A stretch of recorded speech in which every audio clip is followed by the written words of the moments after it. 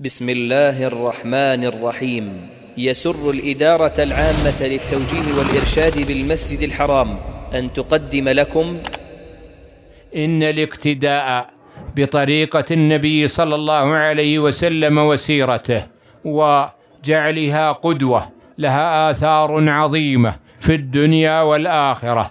فمن تلك الآثار أن الاهتداء بهديه والاقتداء بسيرته من أسباب استجلاب محبة الله عز وجل للعبد كما في الآية الكريمة قل إن كنتم تحبون الله فاتبعوني يحببكم الله ومحبة الله طريق كل خير وسبيل إبعاد كل شر. جاء في الحديث أن الله عز وجل إذا أحب عبدا نادى جبريل إني أحب فلانا فأحبه. فينادي جبريل في أهل السماء إن الله يحب فلانا فأحبوه ثم يوضع له القبول في الأرض.